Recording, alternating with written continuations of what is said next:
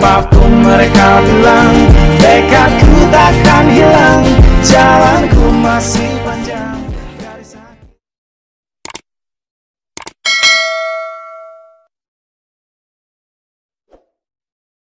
Welcome back, what's up untuk Musang Pemburu Mimpi Bagaimana kabar Anda? Apakah Anda sudah menyimak tentang perjalanan, impian, dan kisah hidup saya?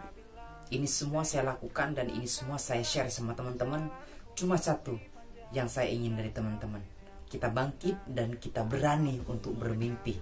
Sejarah itu akan mengisahkan tentang perjalanan kita Tapi masa depan itu adalah tujuan yang sebenarnya kita inginkan.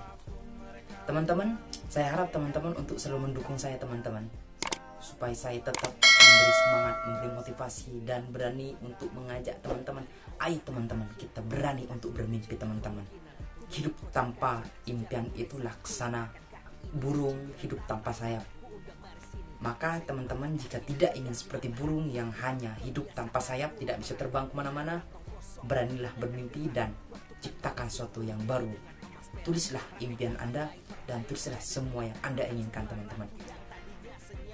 Di kesempatan kali ini saya akan mencoba memberitahu 61 impian saya teman-teman. Apa saja? Teman-teman pasti penasaran sebelumnya teman-teman. Sebelum menonton ini, teman-teman ketika teman-teman belum membuat atau menulis impiannya, tulislah dari sekarang. Teman-teman sebanyak mungkin yakinkan suatu saat nanti teman-teman akan meraihnya dan bisa mencoret satu persatu. Karena kita sudah meraihnya apa yang telah kita impikan dan apa yang sebenarnya kita tulis di buku ini. 60 impian saya teman-teman.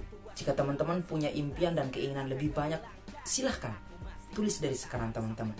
Dan kita buktikan masa depan sukses itu hak semua orang kita punya hak sukses jika kita berani untuk bermimpi teman-teman. Sekarang saya ingin ngasih tahu sama teman-teman. Di sini ada 60 impian saya teman-teman. Yang pertama bisa bekerja di kapal pesiar dengan background saya.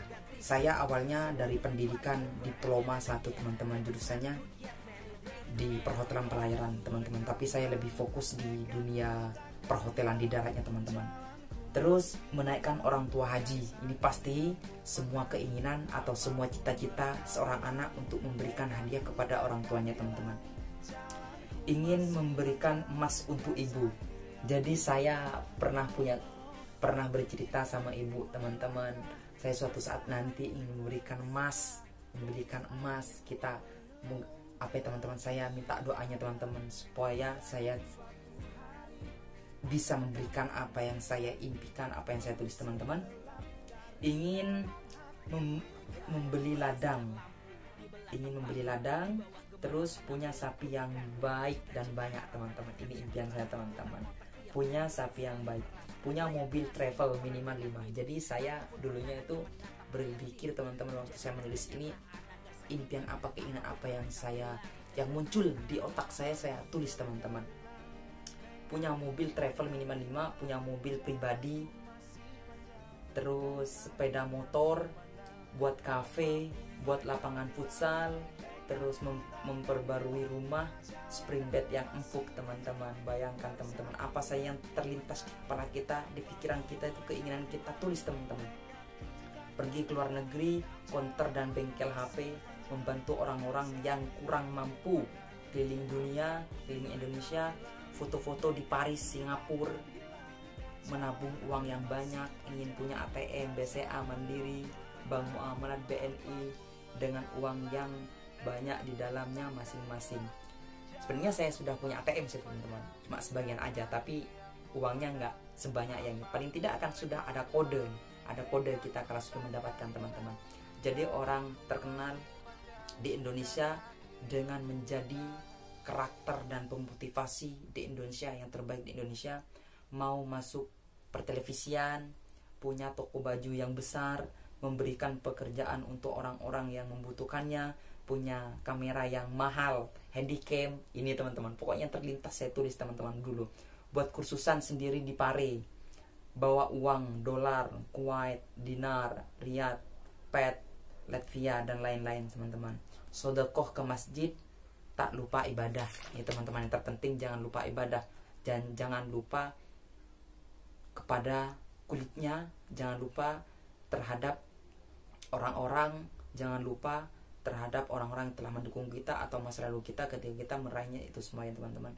Juragan jagung cabai tembakau lapangan yang besar toko buku yang besar ke Jatim Park ziarah ke Wali Songo istri yang solehah yang bisa mengerti dan menerima apa adanya yang pasti saling mengingatkan tentang agama punya anak lima tiga laki-laki dua perempuan membawa semua keluarga besar Bu Hodin ke Wali Songo dengan mobilku sendiri punya PS yang banyak.